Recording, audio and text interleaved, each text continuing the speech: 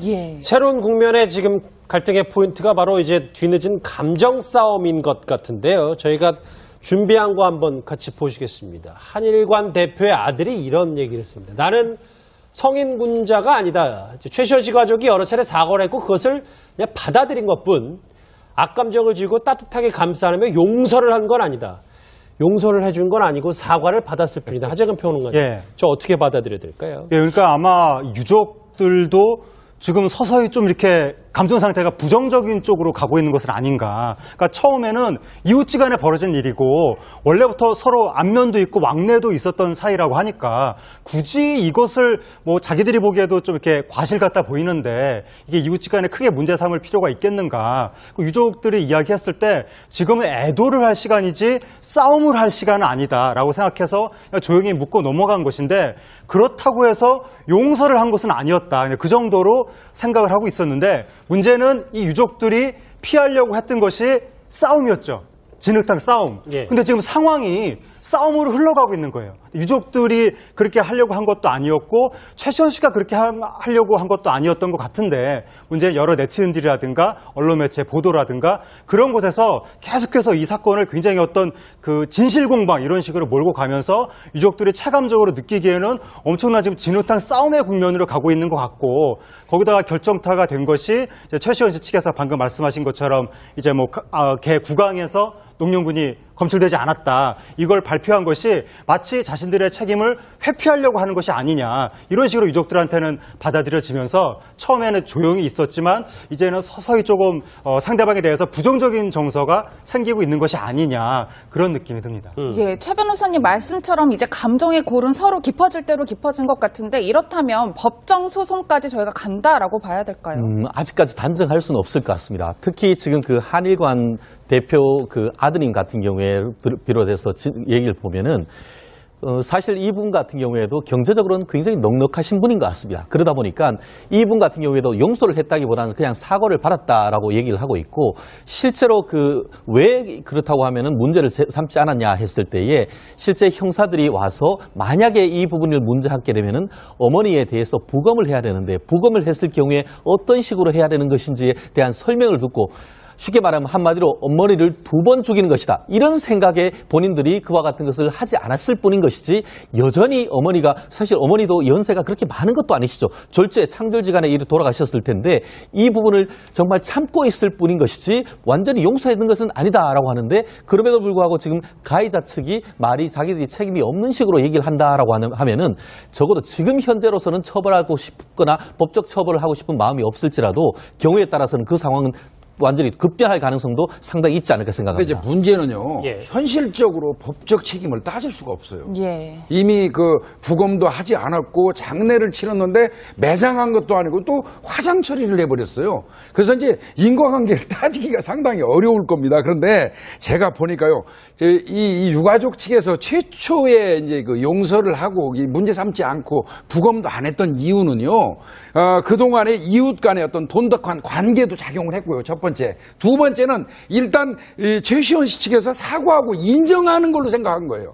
다 모든 걸 인정하는 걸로 생각을 하고 그냥 넘어가고자 했던 건데 예. 또 최시원 씨 측에서는 워낙 그또 어, 네티즌들이나 이 사회에서 비난이 되니까 일정 부분 비껴가려는 그 의도에서 그래서 걔한테 이제 한번 검사도 걔 하고요. 뭐 검사 이런 걸 넣는 바람에 이제 감정이 악화되는 이런 상황이었는데 사실 솔직히 말씀드려서 사건은 뭐 과실치산이 뭐 중과실치산이 이거는 지금 현재 로서는 불가능합니다. 예. 근데 지금 아마 한일관 대표의 아들, 그러니까 저 얘기 지금 자막에도 나오지만 여러 가지 용서를 해준 게 아니라 사과를 받아들이는 것이다. 악감정은 뭐 지우려고 했으나 뭐 여러 가지 얘기들이 아마 법적 책임을 묻지 않는 거랑 반대기 되기 때문에 여러 가지 저희가 해석들을 많이 낳고 있는 것 같아요. 근데 지금 이제 방금 말씀하셨습니다만 이걸 법적으로 가리기에는 너무 이제 지금 와, 와- 와버렸어요. 이미 이제 지나야 될 것을 먼- 너무 많이 지나버렸기 때문에 다시 여기에 와가지고 근데 제가 볼 때는 그 유가족 측에서는 지금도 소송을 할 의향은 없다라고 얘기를 해요. 그래서 예. 제- 가장 좋은 방법은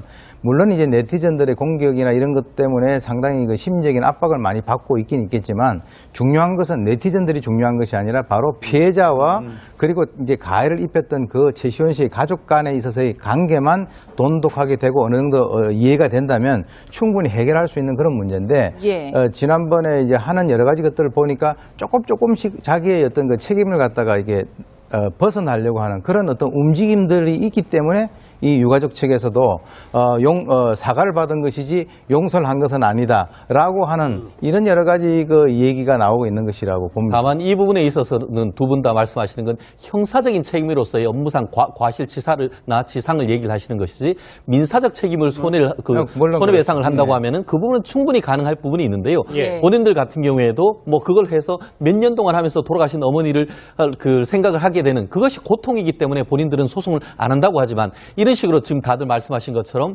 피해자 측에서 계속 이 부분에 대해서 책임을 면패- 면, 면 탈하려고 하고 더불어서 최근에 같은 경우에는 강남구청에서 이분들 최시원 씨 가족에게 과태료 5만 원을 부과를 했습니다.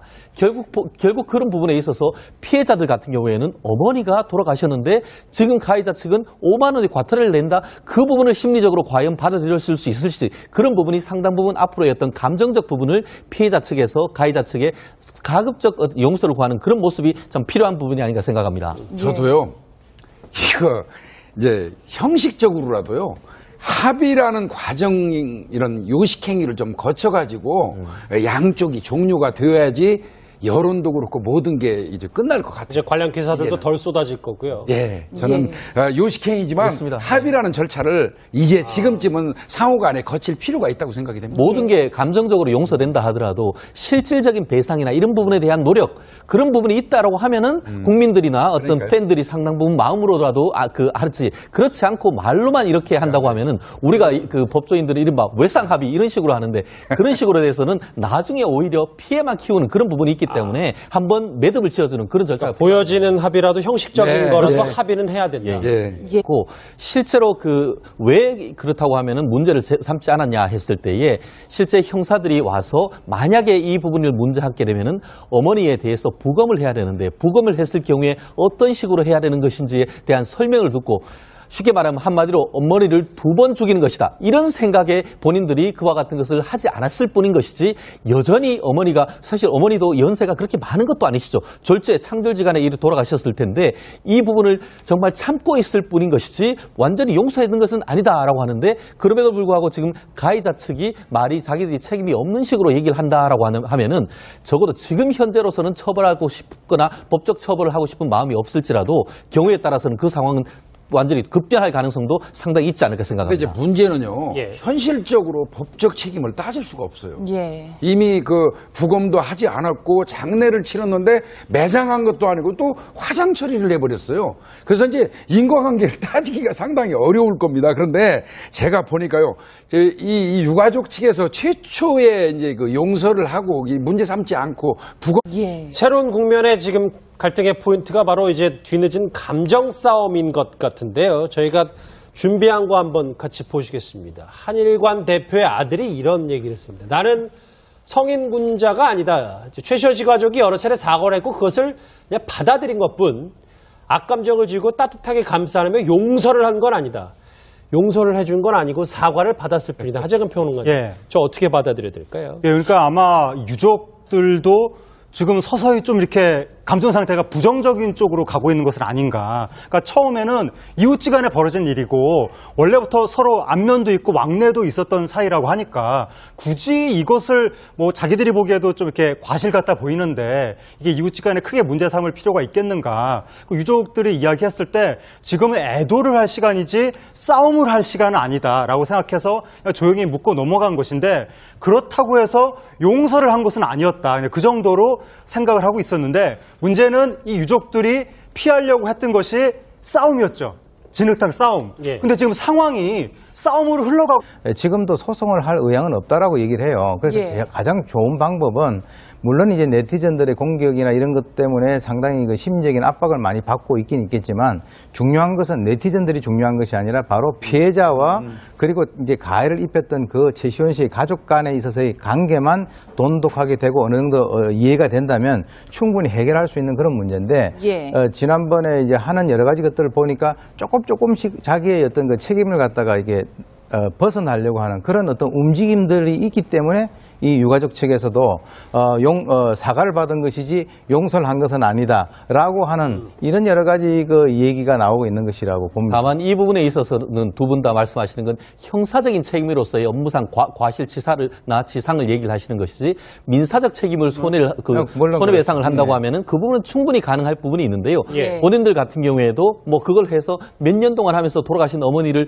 어, 그 생각을 하게 되는 그것이 고통이기 때문에 본인들은 소송을 안 한다고 하지만 이런 식으로 지금 다들 말씀하신 것처럼 피해자 측에서 계속 이 부분에 대해서 하고 있는 거예요. 유족들이 그렇게 하려고 한 것도 아니었고 최시원 씨가 그렇게 하- 하려고 한 것도 아니었던 것 같은데 문제 여러 네티즌들이라든가 언론 매체 보도라든가 그런 곳에서 계속해서 이 사건을 굉장히 어떤 그 진실 공방 이런 식으로 몰고 가면서 유족들이 체감적으로 느끼기에는 엄청난 지금 진흙탕 싸움의 국면으로 가고 있는 것 같고 거기다가 결정타가 된 것이 최시원 씨 측에서 방금 말씀하신 것처럼 이제 뭐개 구강에서 농령군이 검출되지 않았다. 이걸 발표한 것이 마치 자신들의 책임을 회피하려고 하는 것이 아니냐. 이런 식으로 유족들한테는 받아들여지면서 처음에는 조용히 있었지만 이제는 서서히 조금 어, 상대방에 대해서 부정적인 정서가 생기고 있는 것이 아니냐. 그런 느낌이 듭니다. 예, 최 변호사님 말씀처럼 이제 감정의 골은 서로 깊어질 대로 깊어진 것 같은데 이렇다면 법정 소송까지 저희가 간다라고 봐야 될까요? 음, 아직까지 단정할 수는 없을 것 같습니다. 특히 지금 그 한일관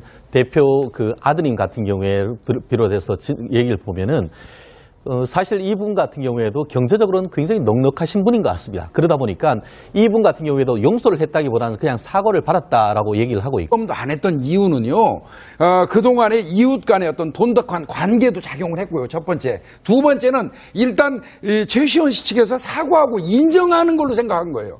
다 모든 걸 인정하는 걸로 생각을 하고 그냥 넘어가고자 했던 건데 예. 또 최시원 씨 측에서는 워낙 그또 어, 네티즌들이나 이 사회에서 비난이 되니까 일정 부분 비 껴가려는 그 의도에서 그래서 걔한테 이제 한번 검사도 걔 하고요. 뭐 검사 이런 걸 넣는 바람에 이게 이제 감정이 악화되는 이런 상황이 왔는데 사실 솔직히 말씀드려서 사건은 뭐 과실치산이 뭐 중과실치산이 이거는 지금 현재로서는 불가능합니다. 예. 근데 지금 아마 한일관 대표의 아들, 그러니까 저 얘기 지금 자막에도 나오지만 여러 가지 용서를 해준 게 아니라 사과를 받아들이는 것이다. 악감정은 뭐 지우려고 했으나 뭐 여러 가지 얘기들이 아마 법적 책임을 묻지 않는 거랑 반대기 되기 때문에 여러 가지 저희가 해석들을 많이 낳고 있는 것 같아요. 근데 지금 이제 방금 말씀하셨습니다만 이걸 법적으로 가리기에는 너무 이제 지금 와, 와- 와버렸어요. 이미 이제 지나야 될 것을 먼- 너무 많이 지나버렸기 때문에 다시 여기에 와가지고 근데 제가 볼 때는 그 유가족 측에서는